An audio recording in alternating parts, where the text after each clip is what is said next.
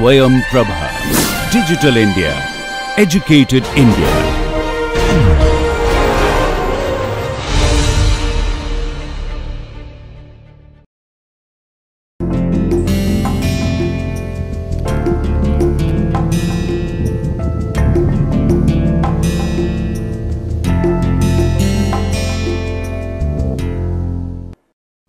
As uh, we had said in the last lecture, today we are going to talk about certain basic facts about convex optimization itself. That is, we are going to discuss today the minimization of a convex function f subject to x belonging to a convex set C. So, this is what I called a convex function and this is what I call a convex set. Now, of course, the question is what is a convex function and what is a convex set. Now, before I uh, start the full fledged discussion, let me tell you that uh, I would like to uh, show you a book which uh, you I think everybody should have a look at it. This book is called Optimization Insights and Application written by Jan Brinkhuis and Vladimir Tikhomirov and I have spoken about a book called Stories about Maxima and Minima uh, written by Vladimir Tikhomirov. This book is a fabulous book whether you want to do convex optimization or even the non-convex one has a huge amount of insight. It is published by Princeton University Press in the Princeton series in applied mathematics, uh, quite a recent publication and it is just a mind blowing read and in, in fact it is something everybody who wants to do anything with optimization should have a copy in their desk. So, going back we will first define what is a convex set.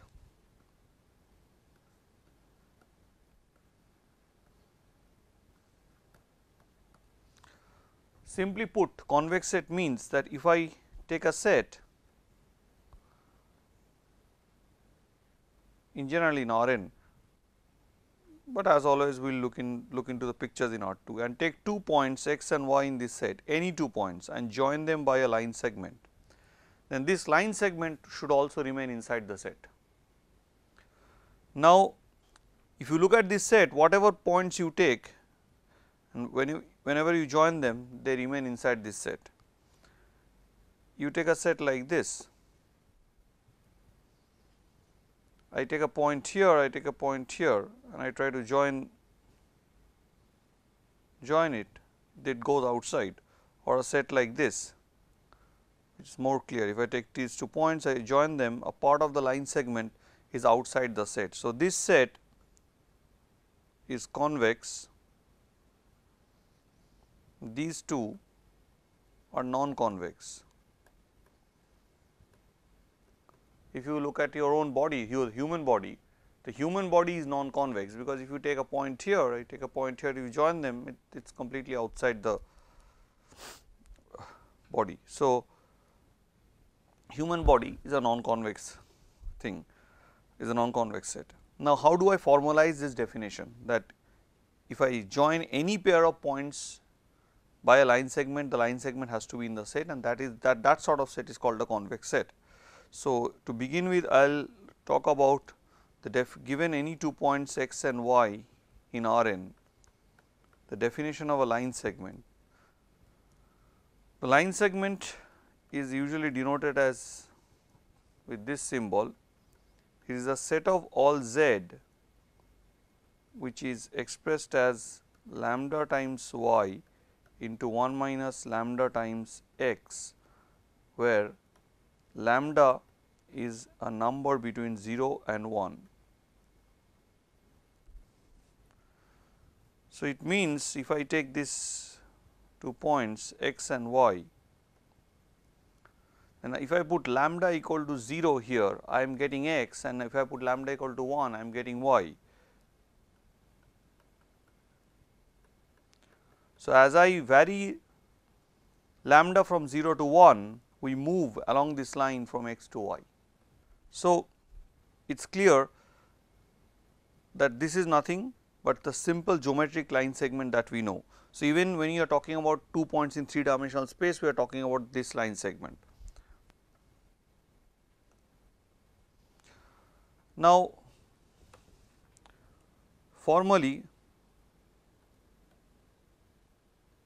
a convex set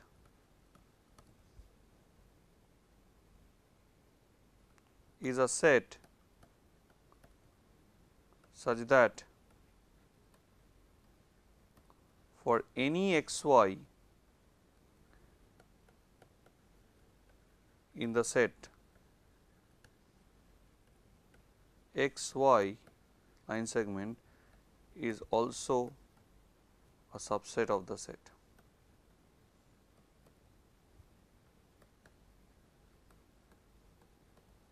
So, this is just a thing in the English language which you now understand very well. Now, what is a convex function? A convex function can be defined from R n to R or it can be defined from a convex subset C to R where C is a subset of R n and is convex.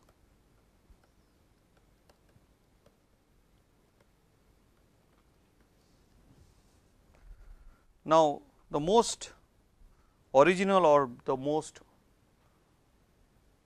or rather I would say the earliest definition of a convex function was due to Jensen, W. B. V. Jensen.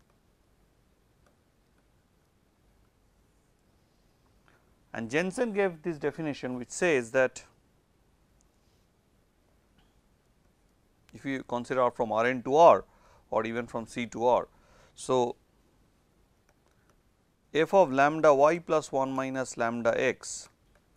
See this is very well defined if you take a convex set C and y and x two elements of C then lambda y plus 1 minus lambda x whenever lambda is between 0 and 1 is element of C. So, this functional operation is well defined. This has to be less than lambda times f y plus 1 minus lambda times f x for all x y in R n or C and lambda in 0 1. This is the definition of Jensen, but a much more modern definition can be given in terms of epigraph.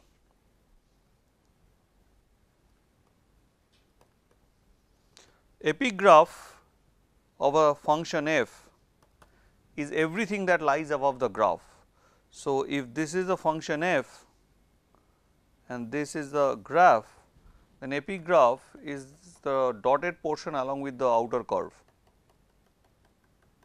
Anything above the graph is called the epigraph. So, this is the epf epigraph of f. Okay. So, the epigraph of f which we denote as epf is the collection of all elements x alpha where x is in R n and alpha is in R such that f of x must be less than or equal to alpha which is very clear from the diagram. Now, what you can prove is that a function is convex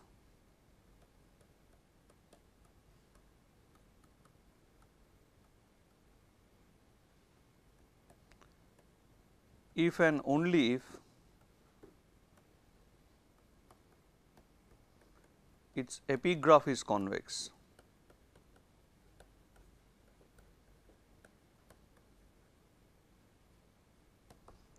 Now, proving this is a simple fact because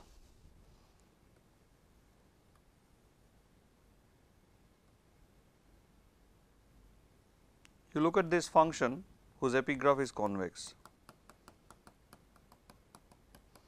Then you can prove that this definition satisfies the definition that we had given on page this page.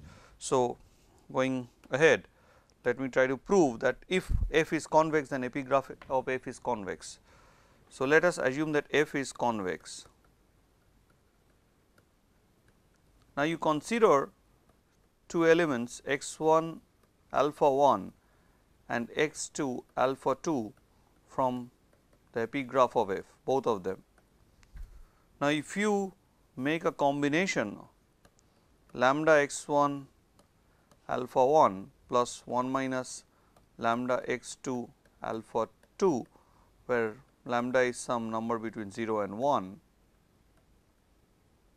then this just means lambda x 1 plus 1 minus lambda of x 2 comma lambda times alpha 1 plus 1 minus lambda times alpha 2. So, I have said that epigraph of f is convex right. Now, since f is convex I have to prove that the epigraph of f is convex. Now, convexity of f tells me that lambda x 1 plus 1 minus lambda x 2 is less than lambda f of x 1 plus 1 minus lambda f of x 2. You must remember one thing if your lambda is attached here your f x 1 lambda gets attached to f x 1 if 1 minus lambda is with x 2 1 minus lambda on this side gets attached to f x 2. But since x 1 alpha 1 is in the epigraph f of x 1 is less than alpha 1 and since x 2 and alpha 2 is in the epigraph f x 2 is less than alpha 2. So, which means that f of this would imply that f of lambda x 1 plus 1 minus lambda x 2 is less than equal to lambda alpha 1 plus 1 minus lambda alpha 2. By the very definition of the epigraph, go back once again, check the definition, look at this definition, f x is less than equal to alpha, all such x alphas for which this occurs. So, this is an x and this is an alpha, this is an R n and this is in R and then this would imply that lambda x 1 plus 1 minus lambda x 2 lambda alpha 1 plus 1 minus lambda alpha 2 this is in the epigraph. So, I have taken two arbitrary elements in the from the epigraph and showed that their convex combination lies in the epigraph which proves that APF is convex or is a convex set to be more precise. Now, suppose I go want to go back, I want to go back and prove that given APF is convex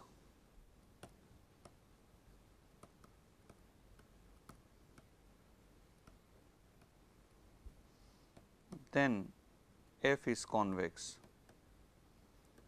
Now, by the definition of epigraph if you take two points x 1 then x 1 x 1 and x 2 then x 1 f x 1 and x 2 f x 2 both these points are in the epigraph. They belong to the epigraph of f. Both of these two points are in the epigraph. And you know that epigraph f is given to be convex. So, which means that for all lambda you take between 0 and 1 for all lambda between 0 and 1 lambda x 1 plus 1 minus lambda x 2 lambda f x 1 plus 1 minus lambda f x 2 is in the APF. Again by the definition of APF it simply means that f of lambda x 1 plus 1 minus lambda x 2 is less than lambda times f x 1 plus 1 minus lambda times f x 2. So, in many cases the modern definition of convex functions are given in this way that a function is a convex function if the epigraph is a convex set. So, here okay here we go back to the usual definition of a convex function. I will just drop this to make it all right. Now let me tell you about a text from which you would be able to know convexity or convex analysis at its best. So, I will refer to the most legendary and classical text in this area called convex analysis This is published by Princeton, it was published by Princeton University Press in 1970 and it is republished in 1994 as Princeton Landmarks in Mathematics and this is by one of the famous mathematicians in this area Ralph Tyrrell Rockafellar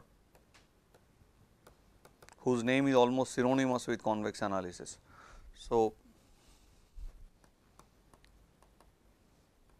anybody who is an optimization student who is a graduate student in optimization should have this book with him. And, and our own experience as a researchers as a my own experience as a researcher in optimization that even if I am stuck with some difficulty in convex analysis in my research, I just have to go to the book of Rockafellar, hang around with it for a few hours and the answer would I mean you, we can actually figure out you can actually figure out the answer. So, that is the power of this book. Now, let me tell you one thing uh, is that this book is not a book which has to be read from cover to cover. No mathematics books are actually uh, they are not story books that you read from cover to cover. Uh, you, you can follow if you read uh, the places where you want. But this book specifically is not a cover to cover book as written by the author himself in the preface that you really need to this book is something which is to help you when you are in trouble. But this book is a must for all optimization researchers and graduate students in optimization. I would write here strongly recommended.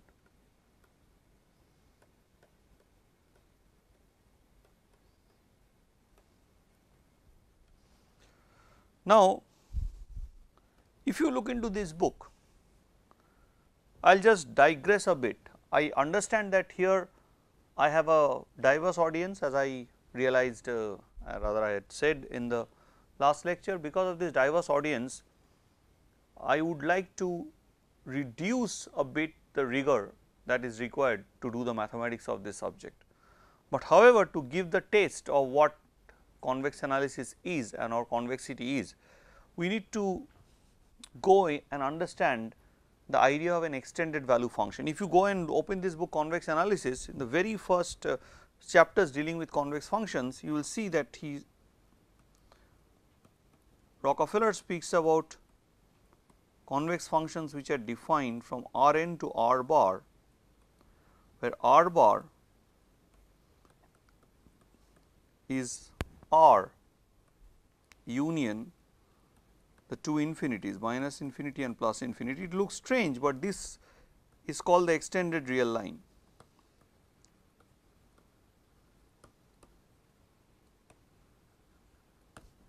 Now, why you need to speak about extended real line? The reason is essentially as follows. You will realize as we go on that unconstrained problems where there are no restrictions on the decision variables, such problems are much more easy to tackle than the problems which have restrictions on the decision variable like we saw last uh, in the last lecture. So, how do I theoretically convert a problem which is a problem with restrictions on the variable to a problem which does not have restrictions in the variable. To do this if you look at the problem that we are dealing with minimize fx x element of C then this is a constraint problem. This has a restriction that x, x is pressed to C. Then consider this, consider this function.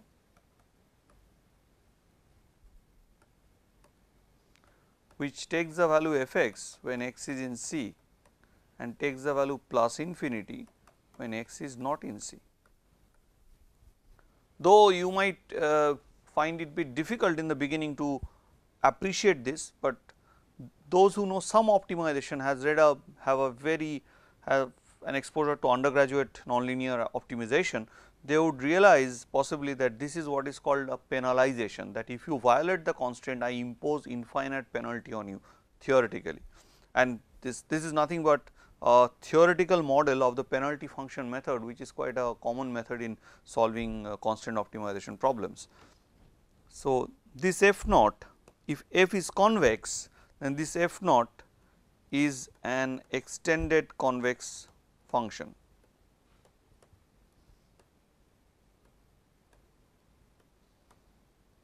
But when you define extended convex functions you have to have certain rules on infinity and minus infinity so, we will not get into all this at this moment, we will come into the rules as and when required. So, when we will study convex functions and convex sets in details which we will start from tomorrow, we will go into a bit of this issue so that even if you get, get into these books like convex analysis or further books that I will say, you will be comfortable enough to handle these things. So, now let me get back straight into the modeling of this problem. Now, this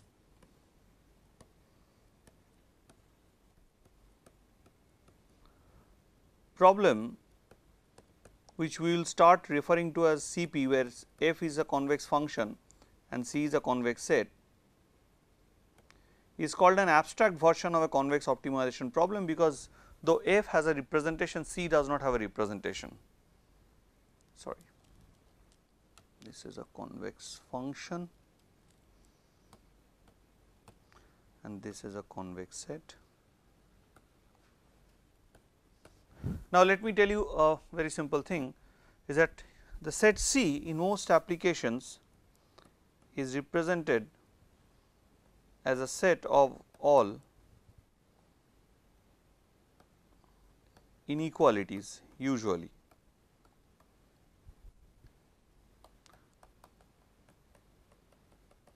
Where all these GIs are themselves convex functions.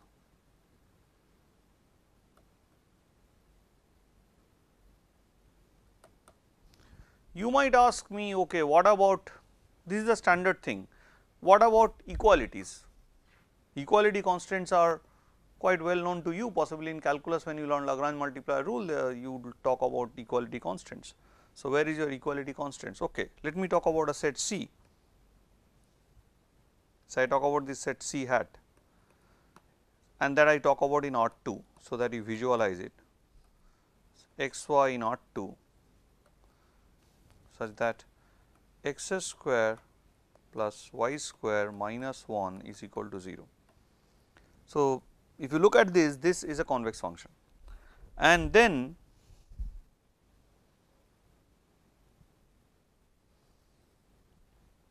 if you try to sketch this set, this set is nothing but this one, only the circle, nothing inside, only the circular ring.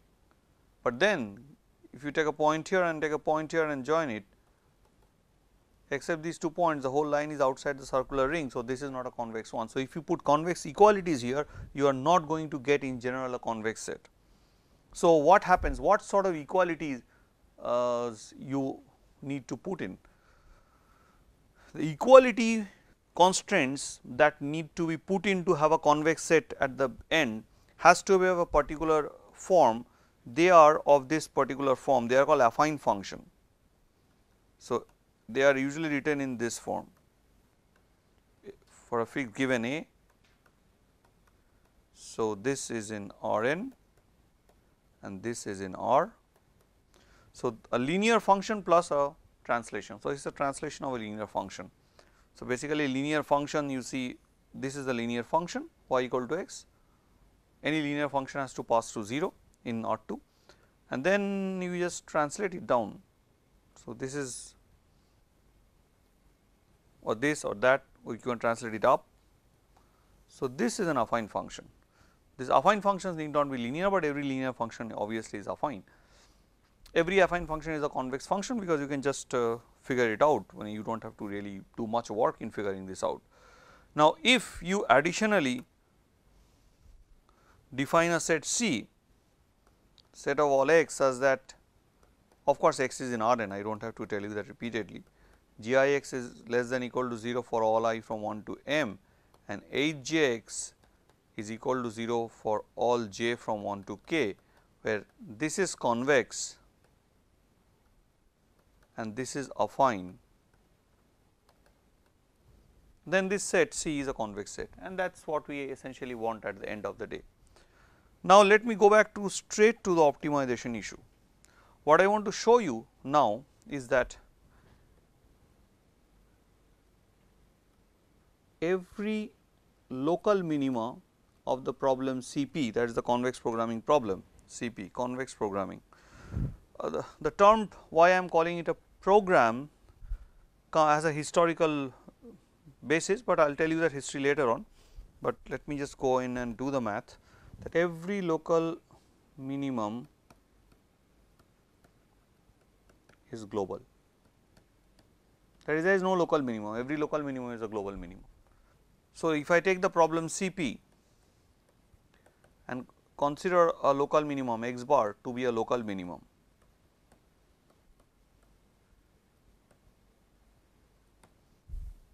Okay. If I consider x bar to be a local minimum what I am supposed to do? Now, it means that there must exist a delta greater than 0 such that for every x which is in the ball centered at x bar of radius delta and whose points also lie in C that that is this set the intersection of C and B delta x bar. For all such x's f of x is bigger than f of x bar right. Now, this is my convex set let this my this x bar is my global uh, sorry uh, my local minimum. What I have showed that okay there is a there must be by definition there must be a very bad drawing delta and the, a, for any points in this intersection this is a set C. For any points in this intersection f x is bigger than f x bar this is the definition of a local minimum. Now, you take any arbitrary point y in this set C, take any arbitrary y. Now, join this y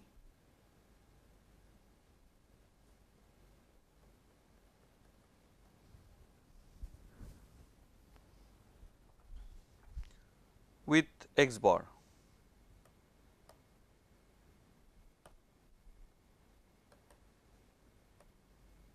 Join with x bar. Now, if I am supposed to do so, if, if I am to okay join spelling does not look very nice, it is J O I N. Um, now, let me construct the line segment. So, any point on the line segment connecting y and x bar can be written as lambda y plus 1 minus lambda x bar which means when lambda is 1 I have y, when lambda is 0 I have x, x bar. So, that means this is lambda equal to 1 and that is lambda equal to 0. So, when I am moving dropping the value of lambda from 1 to 0 I am actually moving along this line segment. So, as I move along this line segment I will come to this threshold point whose lambda is say lambda naught which corresponds to uh, z corresponding z naught corresponding to lambda naught y plus 1 minus lambda naught x bar. If I reduce the value of lambda from lambda naught, all the points lie in this line. So, what I can say is that there exists a lambda naught element of element of the interval 0 1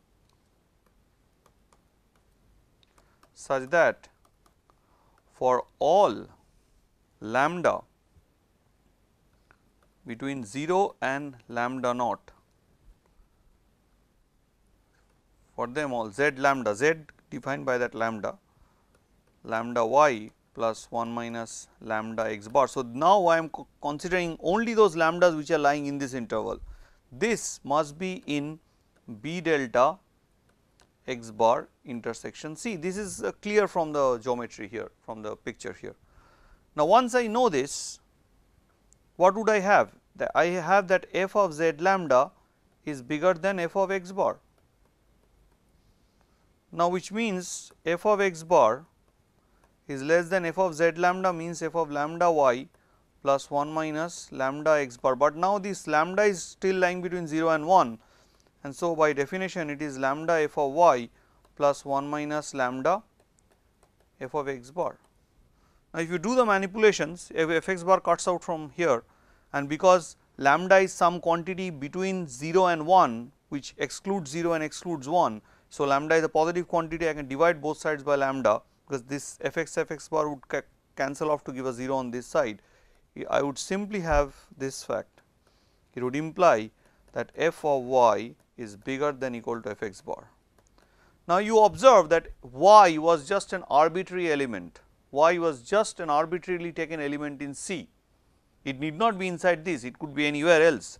So, for any arbitrary y, I have been able to prove that f of y is greater than equal to f of x bar. So, it is true for all y in C, thus proving that x bar is a local, not just a local minimum, it is a global minimum of the function f over the set C. And thus, it shows that the for a convex function every local minimum is global and you must have observed that here we have not bothered about the differentiability of, of the convex function. We, we are not really caring whether this function is differentiable or not and this fact is a very very important fact and you will see how important it is as we come on and as we proceed along and study more about convex optimization. So, uh, we have just learned about the very very uh, important fact that for a convex problem every local minimum is global.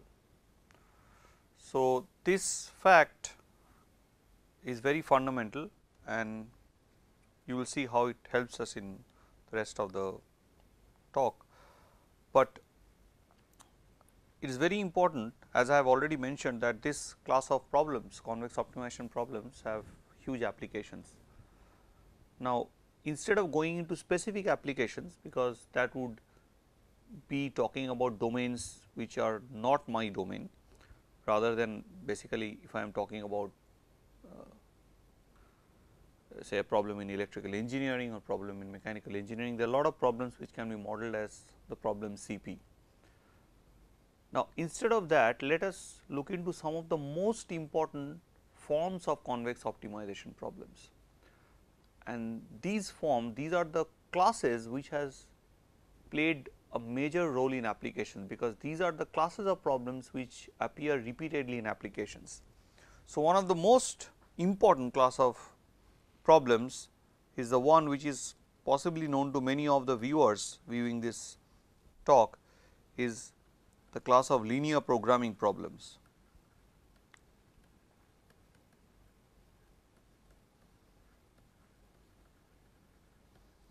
In this class of problems you seek to minimize a linear function. See a linear function you have only this part you do not have the translation every linear function can be expressed as an inner product which is a very very simple fact uh, uh, from linear algebra and I am just assuming that everybody knows what is the definition of a linear function. In case you do not if you take any function from R n to R this function is said to be linear. If these two properties hold first is the property of additivity that f of x plus y is same as f x plus f y.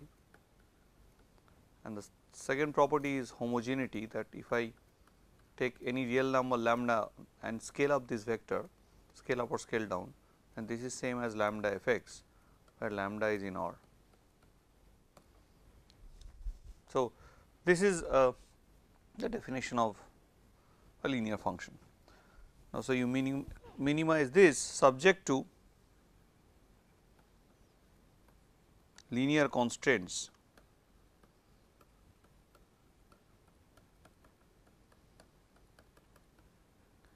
Also in most practical problems there is a requirement that all the xi's are greater than equal to 0. Now of course this is a convex optimization problem because I can pose this as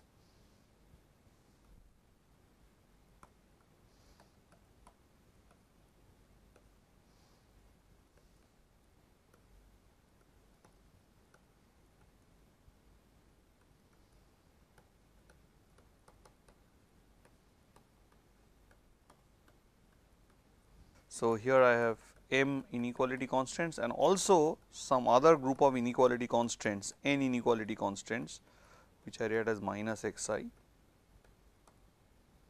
or x whatever x j you want to put.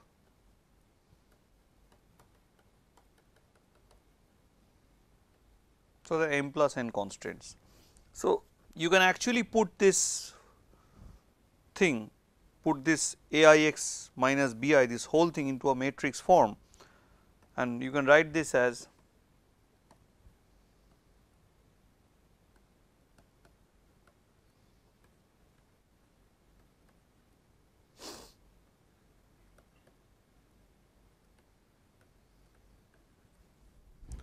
Here when I am writing less than equal to 0 I am meaning that the component every component of this vector is less than equal to 0 and then I can also similarly write it like this or you can equivalently write this as. So, what is this matrix A? This matrix A is a matrix whose rows are the vectors a 1 transpose dot dot dot A m transpose. This is actually the matrix A. Now, what you can do is you can actually add an additional slack variable that is you can add an additional S and you can get a equality. So, the standard form of a linear programming problem is to minimize Cx subject to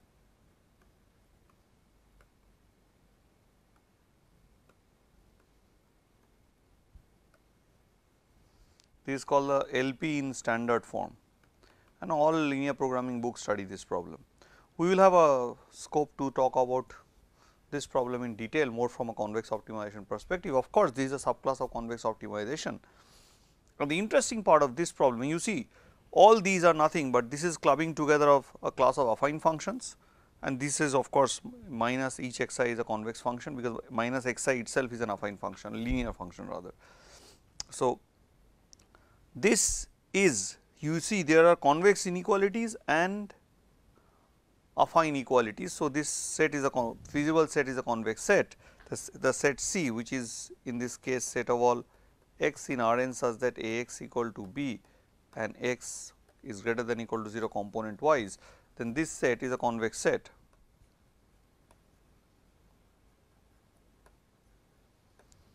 Now, this problem is interesting in the fact that this linear function has to be always minimized over a constraint set. You cannot minimize it over just the whole of R n. For example, if you take the whole real line R and you look at the constraint function f x equal to x,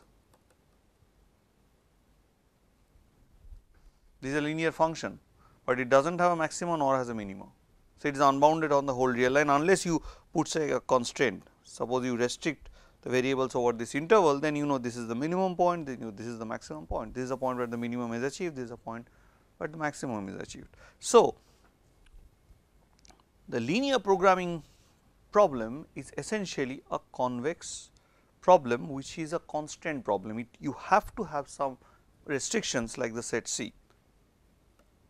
This problem linear programming problem was first uh, studied during the World War time and during that time it was the air force which had given certain problems to a team led by George Dantzig in the US in the RAND corporation and they modeled those problems as linear programming problems the, the type of prob problems that we had seen. So, Dantzig was yet not sure what to call these pro problems, what name to be given to this problem. So, one day he was walking with the famous uh, economist T. C. Koopmans and then he said okay you know all these problems have come out they are all problems where you have to minimize linear functions under some linear or affine constraints and Koopman said you see this is what you are doing this is the program of the air force and you are trying to solve their problems you are solved you are part of their program so why don't you just call them linear programming so it became this term became came to in vogue linear programming which had then translated into in general optimization in finite dimension is also known as, known as mathematical programming which lately has is been now called mathematical optimization.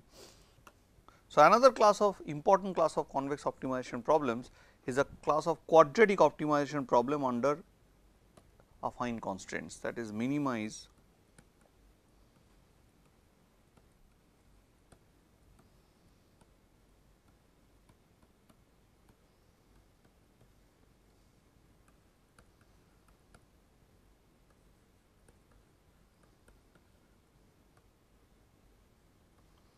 Of course, A, A is again just before like, like in the last one this A you can easily understand this is an m cross n matrix in you Usually when we study linear programming it is taken to be a full rank, but that is really not necessary when you discuss the theory. So, A is again an M cross N matrix and B is obviously in R M which I do not have to tell you.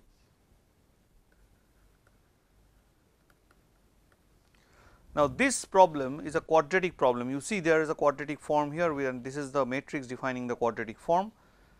This function this part only is a convex function that is if you take just this part then this is convex if Q is positive semi definite. Positive semi definite matrices are true generalizations of non negative real numbers.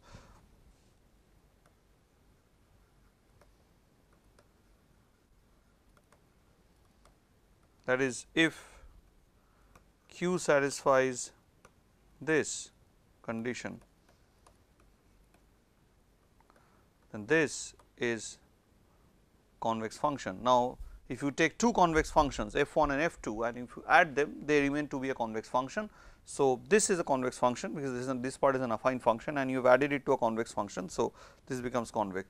So, if you want to have a convex programming problem then you have to assume that Q is positive semi definite PSD is the short form of a positive semi definite used everywhere in the world.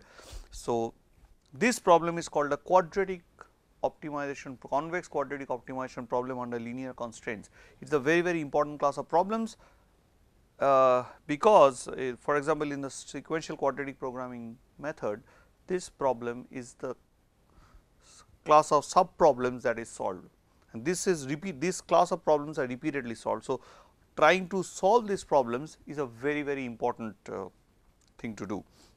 So, the problem is called quadratic problem under affine constraints or linear constraints. Quadratic convex problem with affine constraints.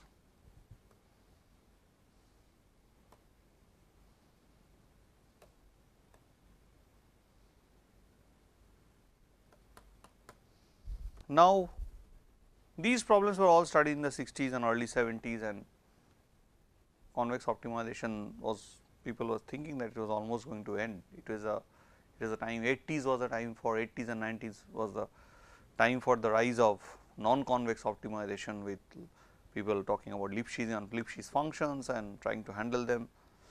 But they soon realized possibly that um, it is not so easy a game to handle non-convexity. Then in, in came in the horizon a class of optimization problems which completely changed the face of optimization and till date they remain to be a thriving area of research and it has again brought back convex optimization to the central and core of or rather into the heart of optimization theory and current optimization research. So, what I am going to now talk to you is some class of problems called semi definite programming problems.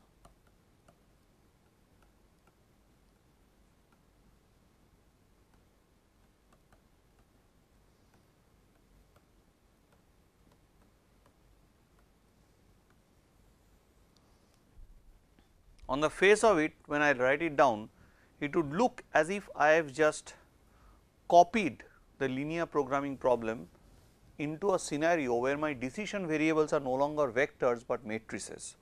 So, we will start by considering the space S n of all n cross n symmetric matrices. Of course, you know a symmetric matrix is the one whose cross elements A i j is equal to A j i now, every if you take the class of all square matrix n cross n square matrix, if you stack up if you take the first column and then stack up the second column below it, third column below the second column and so on, you stack up all the n columns. So, you will get a, a row, you will get a vector which is having n square components. So, which means every, so every matrix n cross n matrix corresponds to some element in R n cross n. Now, this class where you have this matching between Aij and Aj is actually isomorphic not to R n cross n, but to a subspace of that which is R n into n plus 1 by 2. I will not take off the fun, I would let you try to figure this out. Now, S n plus is a set of all matrix A in Sn. See this is also finite dimensional space because it is isomorphic to this uh, Rn into n plus 1 by 2 this is actually the dimension of Sn actually. So, A element of Sn such that A is a positive semi definite matrix is a PSD matrix. So, Sn plus this set is the collection of positive semi definite matrices right. So, if A is positive semi definite it is often written like this. This is called the Loewner ordering.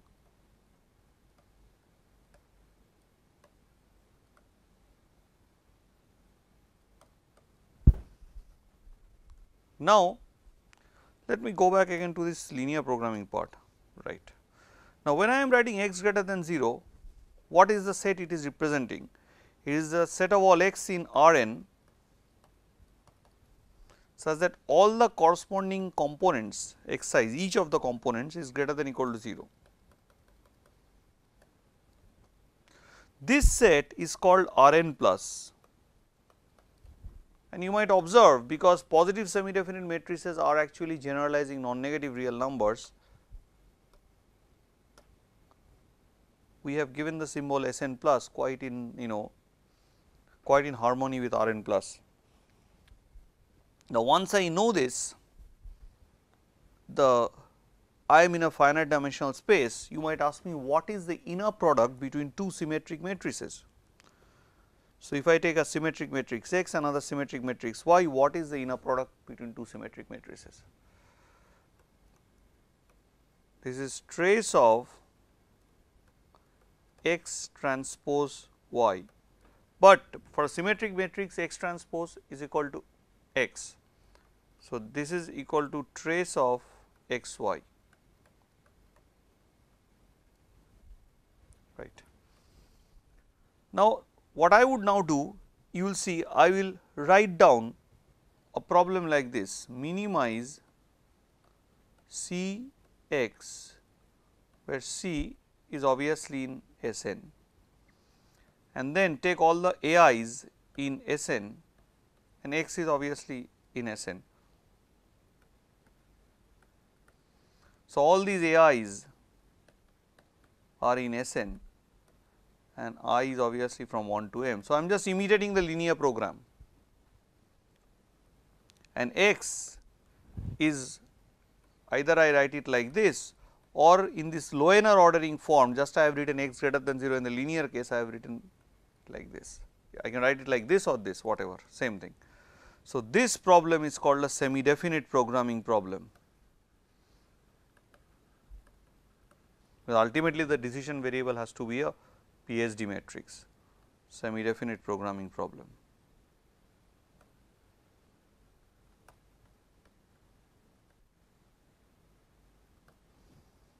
You might ask the question oh, what a big deal, we have just changed the space from the space of vectors, we are in a space, a space of matrices. It is just a linear programming problem in the space of matrix, but space of uh, semi symmetric matrices, but the answer is no in general a semi definite programming problem is not a linear programming problem.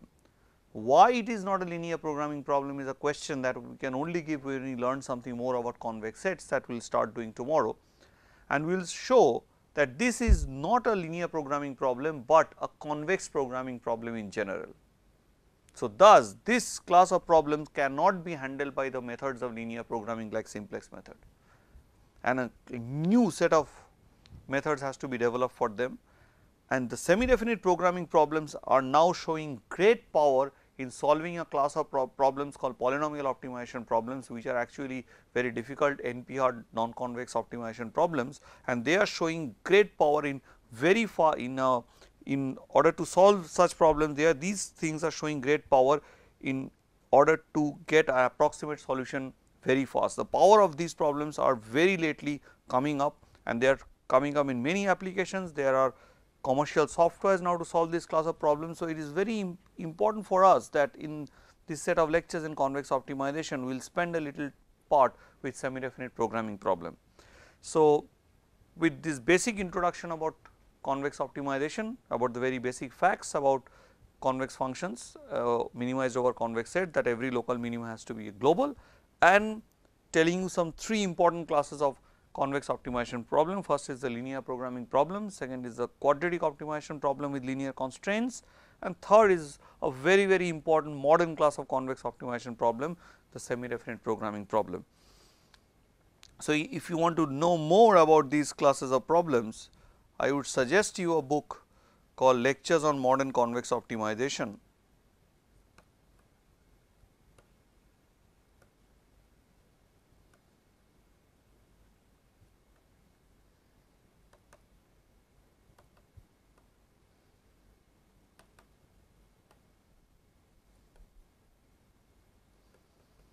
By Ben-Tal and Nemirovski.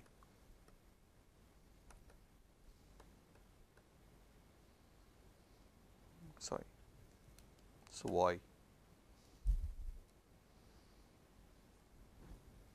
It's published by SIAM, Society for Industrial and Applied Mathematics. So, with this very basic introduction to convex optimization that is what the title of the talk says today what is convex optimization. I uh, stop here, but let me tell you this is a mathematician's point of view of lecturing.